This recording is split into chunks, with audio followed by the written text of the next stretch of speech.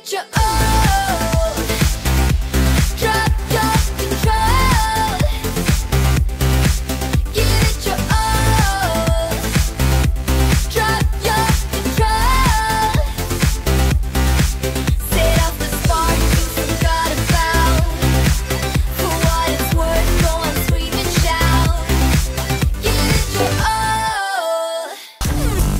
Dragon Ball Xenoverse se ha convertido en todo un éxito y eso desde su propio lanzamiento. Todavía continúa vendiendo copias en algunas plataformas, como en el caso de PlayStation 4 sigue siendo muy difícil encontrar una copia de este título. Bueno, pues atentos porque Dragon Ball Xenoverse ha superado el millón y medio de copias vendidas en todo el mundo desde que se lanzó el pasado mes de febrero.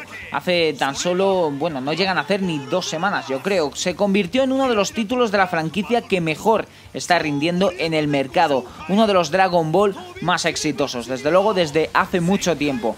Eh, para que os hagáis una idea, mm, si comparamos eh, los datos registrados con su antecesor título, aquel Dragon Ball eh, Z Battle of Z, en sus primeros meses de vida, pues hablábamos de aproximadamente 600.000 copias vendidas a nivel internacional. Bueno, pues atentos, me gustaría agradeceros vuestro apoyo en este nuevo desafío. Es lo que declara el productor del juego. Apostamos por arriesgarnos y crear un concepto de entretenimiento totalmente nuevo para nuestros fans de Dragon Ball. Y estamos muy orgullosos del éxito cosechado. Gracias por vuestro eh, sorprendente apoyo. Continuaremos trabajando para alcanzar nuevos hitos. Es lo que concluye este creativo. La verdad es que es un auténtico éxito. Quien haya probado Dragon Ball Xenoverse, la verdad es que puede entender por qué el título realmente sí está teniendo éxito. Y es que da gusto jugarlo el hecho de que podamos ir subiendo de nivel a nuestro personaje, pasearnos por esa ciudad del tiempo. La verdad es que está muy bien. Y yo creo que si este concepto lo estiran más para próximas entregas y hacen un mundo más amplio donde poder eh, caminar, comprar objetos, etcétera, etcétera, o sea, hacer un juego de rol de Dragon Ball, yo creo que sería un gran éxito. Eh, así que bueno, chicos y chicas, eh, es lo que hay. Por cierto, a partir de hoy mismo ya está el primer pack de contenidos descargables de Dragon Ball Xenoverse. Eh, entre las grandes novedades, ya lo decíamos ayer, están esos nuevos personajes relacionados con eh, la vertiente de Dragon Ball GT, del universo Dragon Ball, la serie, la saga de Dragon Ball GT. Así que bueno, chicos y chicas, gran éxito para Dragon Ball Xenoverse, más de un millón y medio de copias vendidas en todo el mundo cuando su antecesor solamente había vendido 600.000. O sea que el éxito está más que claro. ¿En qué podrían estar trabajando Nintendo y Sony juntas? Bueno, pues atención porque sí, sí es cierto, lo estáis escuchando, lo habéis oído bien, Sony y Nintendo están juntas y ha sido posible en esta película, de, de la cual, bueno, estamos viendo un teaser trailer muy cortito, repetido, pero atentos porque esta es la prueba de que uno de los personajes más populares del repertorio de Nintendo ha sido invitado a formar parte de la próxima producción animada de Sony Pictures, una película llamada Pixels. Eh, bueno, el personaje del que estamos hablando es Donkey Kong, que junto a Pac-Man son los dos primeros personajes en aparecer en las imágenes de esta película Pixels. Se trata tan solo de este pequeño teaser con el que la compañía quiere ir calentando al público de cara al estreno del primer tráiler este próximo miércoles, es decir, mañana mismo. Pero bueno, ¿dónde está Donkey Kong? Si os fijáis bien, aparece en el teaser trailer. También vemos un cartel donde claramente eh, vemos a Donkey Kong en esa película. La verdad es que es, es curioso, ¿no? La película se estrena este mismo año y los personajes de videojuegos no son solamente los protagonistas, eh, sino el actor y comediante Adam Sandler eh, también es uno de los protagonistas junto a Peter Dinklage. eh, más conocido por su papel como eh, Tyrion eh, Lannister en la serie de televisión Juego de Tronos. Como siempre estaremos pendientes a más informaciones, desde luego curioso, Nintendo se junta con Sony para algo. Mucha atención ahora porque esto lo habéis pedido muchos. Eh, ¿Cómo son las invocaciones en Final Fantasy XV? ¿Qué aspecto van a tener? ¿Cómo se va a realizar la secuencia de invocación? Bueno, pues atención porque, atentos, la demo de Final Fantasy XV, esa demo que se titula Episode Duskey, incluye una invocación oculta. Es un extra para los jugadores que eh, decidan exprimir al máximo esta demo y saquen todo el provecho de ella. Ojo porque se ha publicado esa invocación, es la que estamos viendo ahora mismo mismo. Desde luego los amantes de Final Fantasy estarán alucinando ya con estas imágenes. La primera invocación que se encontrarán eh, Noctis y los chicos eh, de Final Fantasy XV es Lamu, también conocido como Ramut en Final Fantasy VII. Ahí lo tenéis. Y en esta ocasión las invocaciones tienen una pinta totalmente gigantesca, impresionante, grandes tamaños, descomunal, todo gigantesco. Bueno, la verdad es que es algo muy común en la serie, pero esta vez parece más grande que nunca. Es impresionante. Y además eh, la estética de las invocaciones encaja perfectamente con ese mundo abierto la serie. La verdad es que es impresionante el vídeo, seguramente lo veréis una y otra vez. Por eso también estamos repitiendo un poco las imágenes. Espero que lo hayáis disfrutado y seguimos atentos a más informaciones acerca de Final Fantasy XV, ¿cómo no?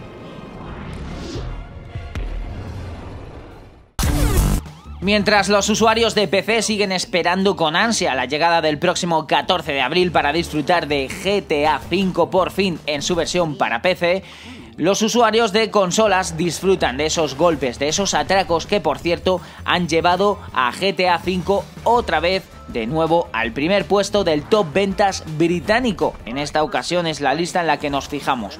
Atención porque es enorme el éxito que está teniendo esa modalidad de atracos, esos golpes que podemos hacer junto a nuestros amigos o junto a otros jugadores. La verdad es que es una experiencia diferente, aporta novedades a Grand Theft Auto Online y desde luego alarga por supuesto la vida del juego. Ha hecho que el juego se venda todavía más. Enorme éxito de GTA Online. Por cierto, muchos de vosotros escribís y pedís que queréis jugar con más gente a GTA Online y sobre todo a esos atracos que ya sabéis que hay que compenetrarse, formar equipos, etcétera. Así que chicos y chicas, aprovechad, por ejemplo, los comentarios de este vídeo para quedar con vuestros amigos, para quedar con gente, para Mm, reuniros a la hora de hacer esos ansiados atracos de GTA Online. Bueno, los usuarios de PC están con mucha ansia, así que les dejamos esperando al próximo día 14 de abril. En los atracos en PC, por cierto, también se lanzan ese mismo día.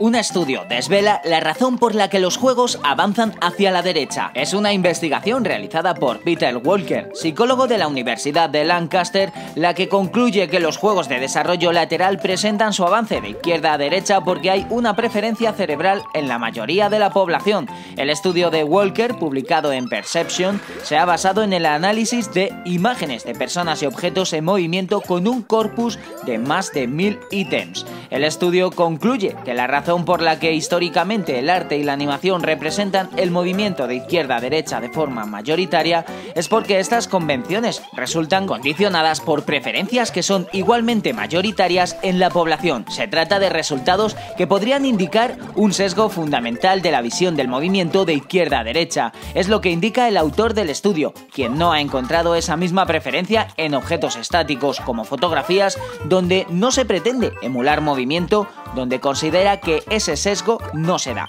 Afecta, por tanto, solo a los elementos en movimiento o que están representando algún tipo de movimiento. Esto justifica que la mayoría de los videojuegos opten por defecto por avanzar de izquierda a derecha y que muchos movimientos de cámara en el cine sigan esa misma direccionalidad. Es una de las curiosidades que os traemos hoy al mundo de los videojuegos. Para que veáis que los creadores de videojuegos también muchas veces sueñan con el hardware que crean las compañías, eh, aquí tenéis un buen ejemplo de ello. Se trata de el creador de un título que muchos de vosotros seguramente conoceréis. Se trata de ese ADR1FT. Eh, bueno, pues su creador sueña con ofrecer soporte a Project Morpheus y se confiesa un auténtico fanático de PlayStation. Atentos a las palabras que ha dejado porque, bueno, eh, ya sabéis que su título, ese ADR eh, One FT es uno de los títulos indie más esperados de los próximos tiempos. Su principal responsable, Adam Ort, ha charlado, ha estado hablando con el portal norteamericano IGN sobre algunas de las características de este título en cuanto a su forma de optar por unas plataformas como pueden ser eh, PC, Xbox One o especialmente, por supuesto, PlayStation 4. Y es que ahora veréis por qué digo esto de por supuesto PlayStation 4. Parece ser que les encantan las plataformas de Sony. Eh, bueno, eh, parece ser que eh, Project Morpheus es un soporte en el que quieren que aparezca este título. Ya han confirmado unirse a Oculus Rift, pero quieren dejar muy claro que también quieren llevar este título a Project Morpheus, a la realidad virtual de Sony. Atentos a sus palabras porque dice sí, por supuesto que le brindaríamos soporte si en Sony estuvieran interesados, es lo que declaró Ort. Tenemos kits de Morpheus y es algo que nos emociona. Siempre he sido un fanático de PlayStation, así que el tener este juego en PlayStation de una nueva forma es, a nivel personal, muy importante. Así que bueno, pues ahí lo tenéis, otro título que podría desembarcar también en ese Project Morpheus, del que cada vez hablamos más aquí en el canal, esa realidad virtual que nos va a traer dentro de muy poco Sony. Gran noticia también para los amantes de Kingdom Hearts porque se ha anunciado un nuevo evento de Kingdom Hearts para el próximo mes de noviembre. Es cierto, queda todavía bastante, pero atentos porque podrían presentarse novedades de la tercera entrega de Kingdom Hearts. Ya sabéis esa que están esperando plataformas de sobremesa como PlayStation 4 y Xbox One. Y es que Disney va a celebrar el D23 Expo Japan del 6 al 8 de noviembre en el Parque Disney de Tokio. ¿Quién pudiera estar ahí, la verdad? Ojalá. De hecho, es uno de los parques que tengo pensado visitar, ese parque Disney de Tokio, pero bueno, todavía no sé cuándo va a poder ser. Bueno, pues en relación a los videojuegos se ha anunciado ese Kingdom Hearts Fan Event que tendrá lugar el próximo 3 de noviembre en los cines eh, Piari de Chiba. Bueno, pues eh, en 2013 este evento, eh, os recuerdo, que sirvió para anunciar Kingdom Hearts HD 2.5 Remix y presentar el primer vídeo de jugabilidad de Kingdom Hearts 3. Por tanto, bueno, esperamos que al menos tengamos novedades de esa tercera entrega anunciada para PlayStation 4 y Xbox One. Estaremos muy pendientes a informaciones y sobre todo es que es cierto que hace mucho que no se habla de Kingdom Hearts 3 y hay muchas ganas de, ver nuevas imágenes, de conocer nuevos detalles del título. Yo creo que además es, en este próximo E3 vamos a conocer nuevos eh, vídeos y nuevas secuencias jugables, seguro.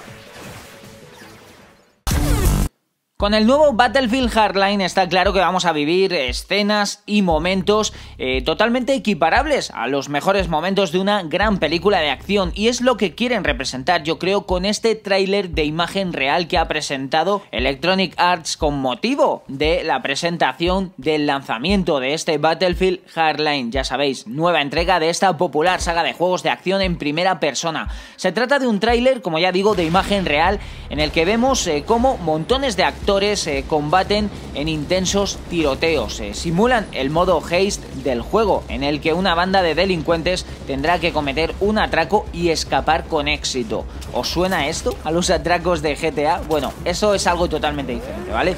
Battlefield Hardline ya sabéis que ha sido desarrollado por Visceral Games, creadores de Death Space, por cierto ha habido una curiosa noticia en la que eh, hay un guiño, no voy a decir cuál exactamente, ¿vale? Pero hay un guiño para los fanáticos de Death Space, eh, ya sabéis que también es de Electronic Arts esta saga, bueno pues dentro de Battlefield Hardline vais a encontrar un gran guiño a Death Space.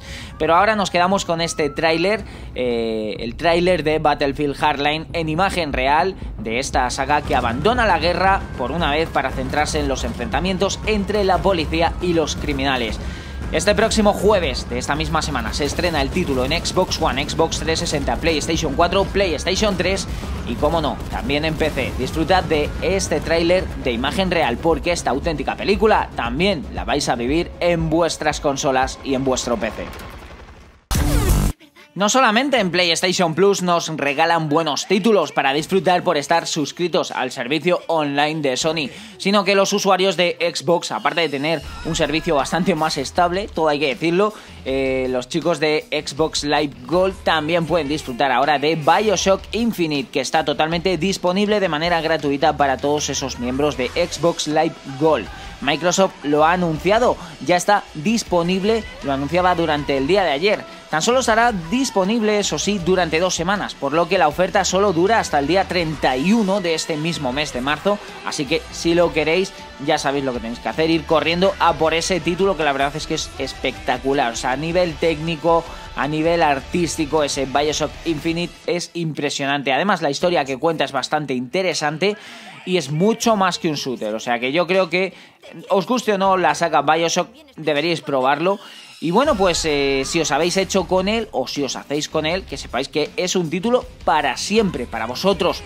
Aunque dejéis de estar suscritos a Xbox Live Gold, que esto es una gran ventaja que yo creo que tienen, por ejemplo, es verdad, el servicio de, Xbox Live Gold tiene esa ventaja. Los juegos que regalan los regalan para siempre, siempre y cuando, por supuesto, no los borremos.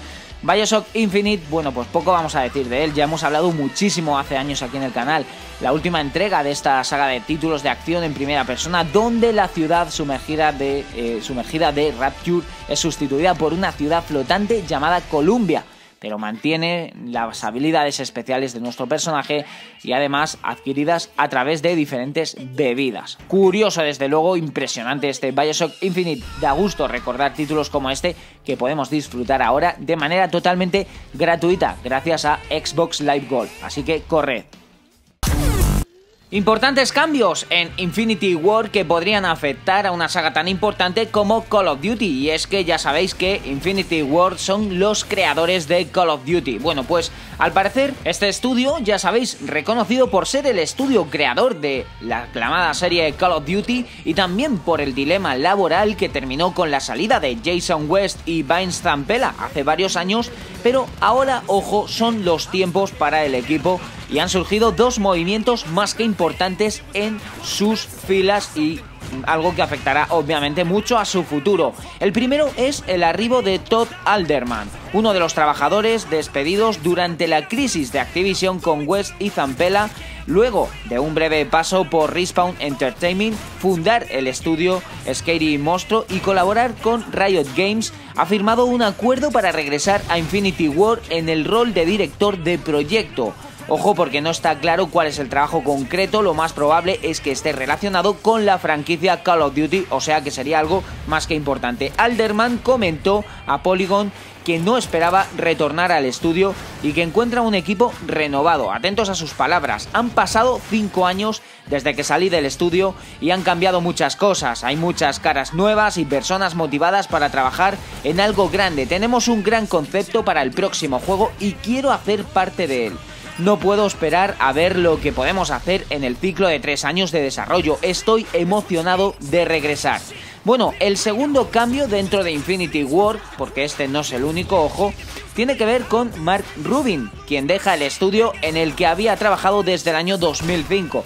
Uno de sus últimos eh, papeles fue el de productor ejecutivo de Call of Duty Ghosts, una entrega que, por cierto, no cuajó demasiado en las opiniones del público. Hasta el momento se desconocen las razones concretas de eh, su contrato, bueno, de su finalización de contrato, de su partida de Infinity War. Y esas son las novedades que hay acerca del estudio que creó una saga tan importante como Call of Duty, una saga que puede verse afectada obviamente por todos estos cambios, para bien o para mal, ya veremos. Parece que lo de construir es una auténtica fiebre. Juego que sale de construir, juego que tiene más que éxito. El excelente juego de gestión urbanística Cities Skylines ha superado la barrera del medio millón de copias vendidas desde que se estrenó el pasado 10 de marzo. Estamos hablando de medio millón de copias vendidas en muy poco tiempo. Se convierte en el juego de Paradox Interactive con mayor ritmo de venta hasta la fecha. Atentos a las palabras que han dejado porque dicen parece que hemos roto la barrera de los 500 500.000. Un gigantesco agradecimiento a todos aquellos que nos han apoyado hasta ahora. Se puede leer esta frase a través de Twitter. También han dicho nuestras felicitaciones también al equipo colosal Order por haber creado el que muchos dicen es el nuevo referente de los juegos de gestión urbanísticas. Es lo que comentaba días atrás uno de los máximos responsables del estudio, cuando se confirmaba que Cities Skyline había vendido 250.000 unidades en tan solo 24 horas. Desde luego es el nuevo éxito. ¿Y vosotros os animáis a construir ciudades? La editora también destacaba horas atrás en el índice de piratería del juego, que era bastante bajo, gracias sobre todo a su política de mejorar constantemente los juegos con actualizaciones totalmente gratuitas. Por eso la gente no quiere piratear un título como Cities Skyline. La verdad es que pica la curiosidad por probar este título de construcción de ciudades. ¿Os apetece? Y toca hablar ahora de algo que no le hizo absolutamente ningún bien a Microsoft. Se trata de esa polémica cláusula de la paridad. Y explicamos qué es esto. Bueno, atención porque Microsoft deja sin efecto dicha cláusula de paridad para los juegos indies. No se trata de, eh, digamos, eh, eliminarla, sino simplemente de esquivarla como puedan. Originalmente la compañía decidió que para que un juego de corte indie saliera en Xbox One era necesario que el título apareciese en la plataforma Xbox One al mismo tiempo o antes en exclusiva que en otras eh, compañías para que sus usuarios fuesen usuarios de primera índole, por así decirlo. Bueno, pues esto tuvo muchas polémicas. Una de las más sonadas fue con la desarrolladora de Oddworld New and Dusty. Eh, y parece ser que se podrían eh, publicar juegos a posteriori a pesar de dicha cláusula. Esta es la nueva noticia. Bueno, el señor Agostino Simonetta explica en Eurogamer que confirmaba que un juego puede salir en Xbox aunque haya sido eh, ya publicado en otra plataforma. Correcto, menos los juegos que nunca pueden salir aquí, todos los títulos pueden llegar a id.xbox. Eh, bueno, se le preguntó directamente sobre si eso significaba que ya no habría dicha cláusula y el jefe de la división europea explicaba que entienden que haya compañías que deben decidir eh, salir antes donde sea por tema de recursos o algún acuerdo concreto y que ellos deciden, eh, dicen a los desarrolladores, eh, es que lo que les están diciendo es que vengan y hablen con nosotros, según sus palabras, encontraremos la mejor manera para que el juego sea un gran éxito en nuestra plataforma. También quiso admitir que no hay limitaciones específicas para que juegos que ya han salido en otras plataformas vengan a Xbox. La verdad es que, hombre, a mí siempre esta cláusula de paridad me ha parecido, pues eso, una paridad, me ha parecido una eh, absurdez total que, bueno, en definitiva lo que querían es que los desarrolladores indies, digamos, se asustasen un poco y sacasen los juegos primero en Xbox One por no quedarse en publicarlos en esa plataforma, pero al final han visto que muchos desarrolladores indies han pasado directamente y esto mm, obviamente le hace mal a Xbox One, por tanto Microsoft ahora mismo se salta su propia cláusula. Los amantes y seguidores del género de la lucha en el mundo de los videojuegos tienen ahora puesta en mente dos grandes sagas que están por llegar, por regresar al mundo de las consolas y de PC. Y atentos, una de ellas es Mortal Kombat 10, la otra Street Fighter 5. Bueno, pero nos quedamos con Mortal Kombat 10 porque hay que hablar de la historia de este juego. Dominic eh, el director de cinemáticas eh, de NetherRealm, ha asegurado que para crear la historia de Mortal Kombat 10 se inspiraron mucho en lo visto en la mítica película de El Padrino Parte 2, como lo estáis oyendo.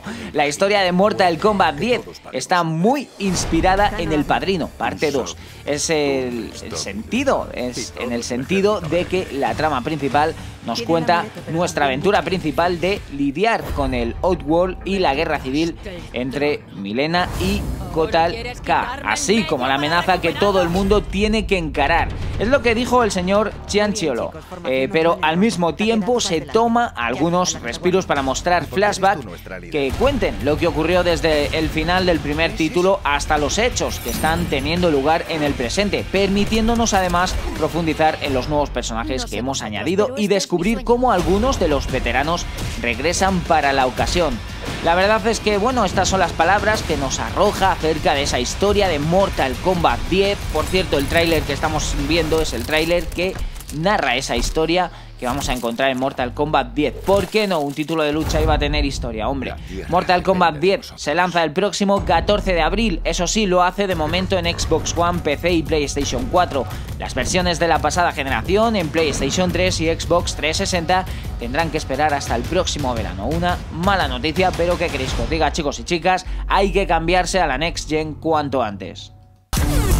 Atención porque desde Xbox siguen poniendo semillas de polémica. En esta ocasión, bueno, quien ha hablado ha sido el principal responsable europeo del programa ID Xbox. Ha hablado con el portal británico Eurogamer sobre el controvertido tema de las exclusivas de software para las diferentes consolas. Atentos a las palabras que ha dejado Agostino Simonetta. Ha dicho, tenemos algunas exclusivas que otras plataformas no tienen. Hemos anunciado un montón de contenido exclusivo pasada semana en la GDC.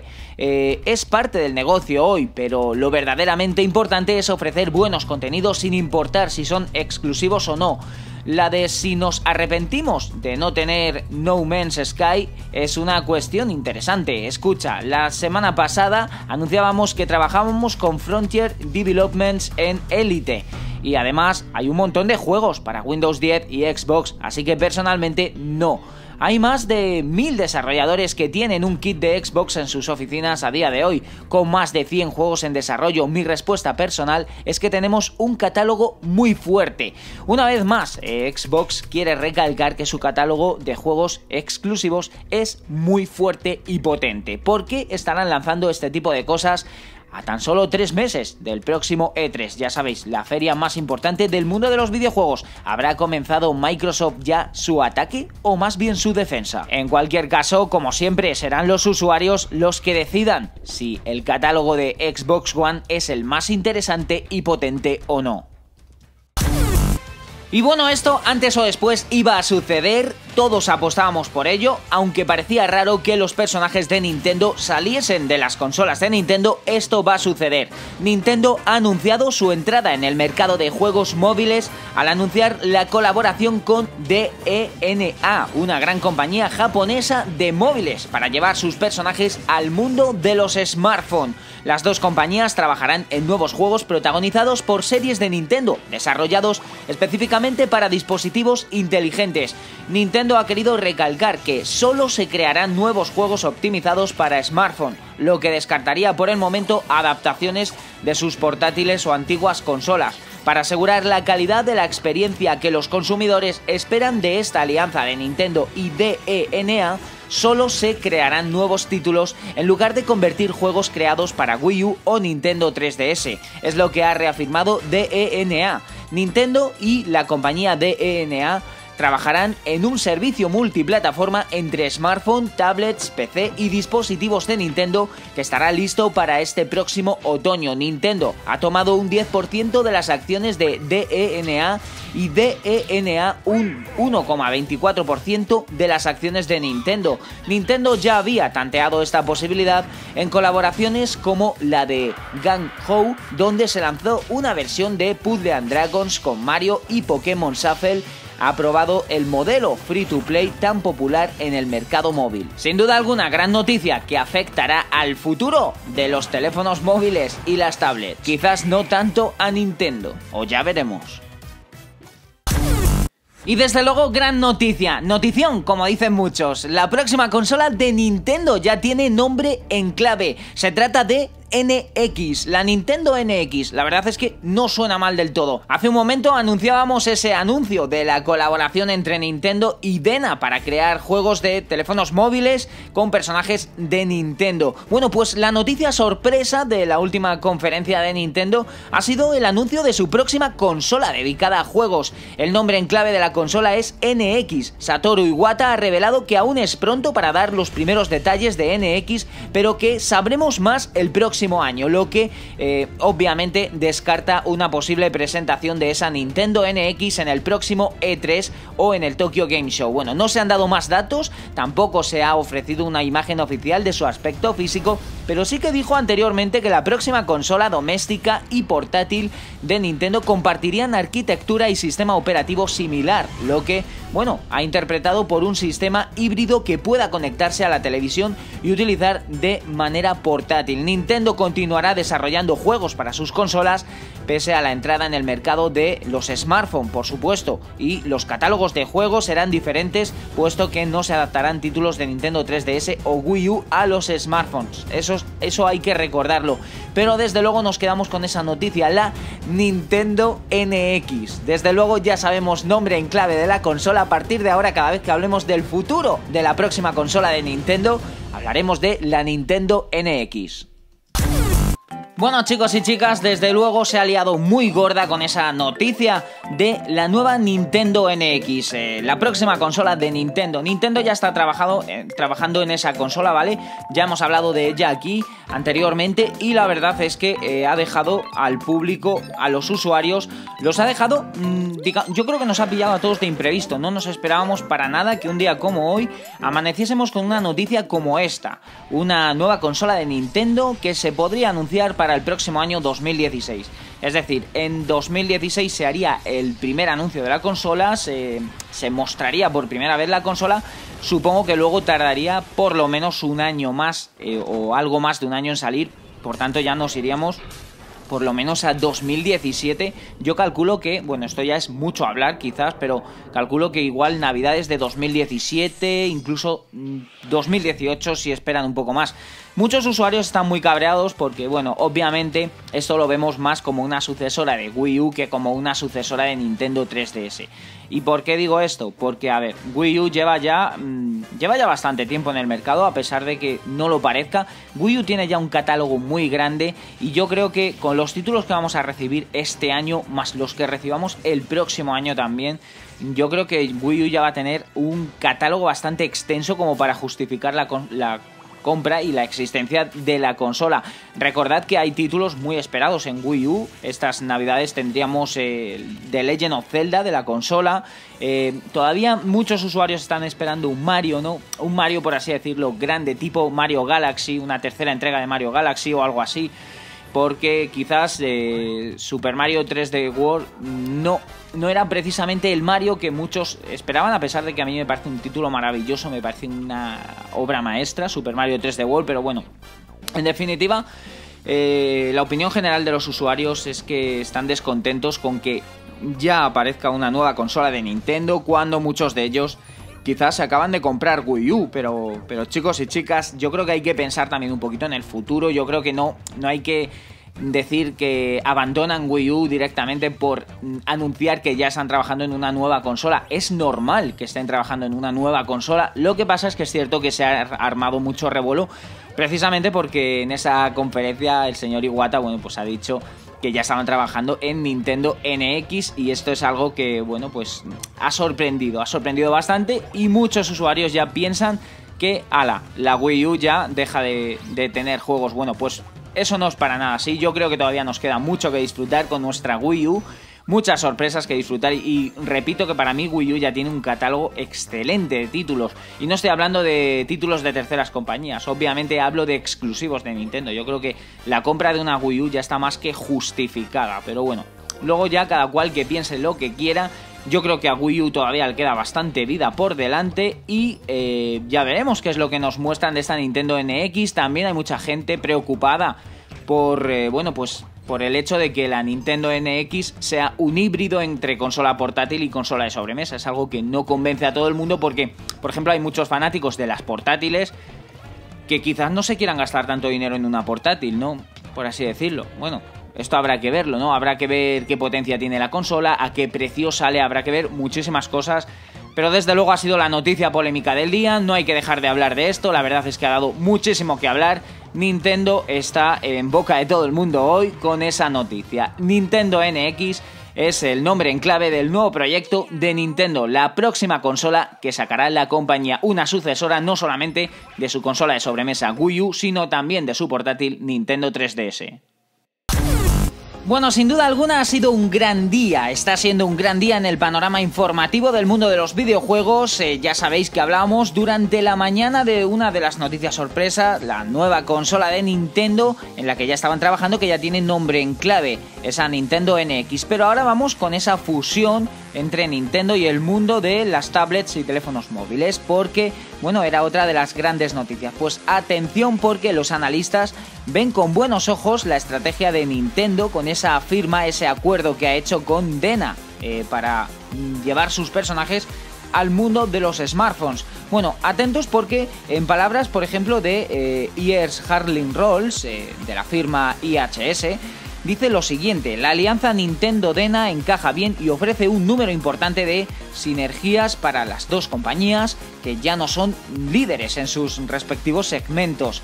No solo hay un beneficio directo de los consumidores de smartphone y tablets para Nintendo, el ecosistema de aplicaciones es muy importante para alcanzar nuevos usuarios y hacer que conozcan la marca Nintendo para llevarlos a una nueva audiencia mayor de su negocio de consolas. Eh, Harlin Rolls piensa que los fallos de Dena por entrar en el mercado occidental no deberían ser un problema, pero sí que Nintendo se decante por monetizar sus juegos móviles. Explica lo siguiente, la alianza da a Nintendo una audiencia mayor, que es importante para un rendimiento financiero. Los usuarios japoneses gastan más per cápita en móviles que otro país y es el mayor mercado para smartphone y portátiles. Tiene sentido comercial en muchos niveles. El principal, el principal será tejer las culturas de ambas compañías y preparar el ritmo de desarrollo que se necesita en este mercado con una Nintendo más paciente en la producción de juegos. Como se monetizan es un reto considerado eh, los diferentes modelos utilizados por Nintendo y los micropagos de Dena. Yo no sé lo que va a salir ahí entre micropagos y las estrategias de Nintendo, ya veremos qué es lo que nos enseñan realmente. Pero atentos porque eh, no es el único que ha hablado. También ha hablado Jack Trent dedicado a la investigación del sector móvil de IHS. Piensa que el descenso del mercado móvil para Dena significa que este acuerdo es ventajoso y que las dos compañías habrán hablado de trabajar juntas desde 2010. Dice lo siguiente, pese a los grandes esfuerzos en desarrollo de smartphone y expansión internacional, Dena ha tenido problemas en los últimos años. Su éxito inicial se basó en juegos para la web, para el mercado de móviles japonés. Cuando el mercado cambió a juegos de móviles nativos, se vieron superados por competidores como eh, Gang Ho eh, hay un riesgo, que es que pese a los beneficios que ponga cada parte, podría ser demasiado tarde para sacar ventaja de las fortalezas. Colaborar con marcas establecidas ha sido un objetivo de las estrategias internacionales, usando Star Wars, NBA y Transformers. Llevar los juegos de Nintendo a móviles por primera vez es importante para Dena y ayudará a mejorar su posición doméstica y fuera de Japón. Esas son las palabras primeros analistas que se pronuncian acerca de esa fusión entre los personajes de Nintendo o la propia Nintendo y el mundo de los smartphones, tablets, teléfonos móviles. La verdad es que hoy el día ha sido muy polémico para Nintendo. Madre mía, el día que llevamos. Las acciones de Nintendo se han disparado tras el anuncio de su entrada al mundo de la telefonía móvil y las tablets. La verdad es que los inversores lo decían, lo proclamaban los analistas también, Nintendo debía ceder y aceptar el nuevo mercado de los juegos para móviles como un campo donde encontrar crecimiento y así lo ha hecho la compañía esta misma mañana ha comentado, bueno, pues eh, su intención de meterse en ese mercado. Los primeros resultados, ojo, porque son eh, los que estamos eh, comentando ahora mismo. El valor de Nintendo en videojuegos en la bolsa ha crecido exponencialmente desde que a primera hora se anunciase esa intención por parte de Nintendo de firmar y desarrollar juegos para teléfonos móviles.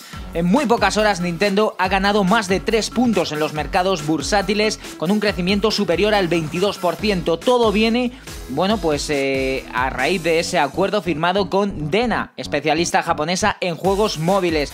Las dos empresas van a trabajar mano a mano para llevar contenidos tanto a dispositivos móviles como a otras plataformas, como puede ser eh, el PC, mediante la producción de juegos sociales sin dejar de lado las consolas tradicionales. La verdad es que Nintendo acaba de lanzar una flecha a la diana y ha dado en todo el centro, le pese a quien le pese, pero mm, no sé qué opinan de esto los fanáticos de Nintendo.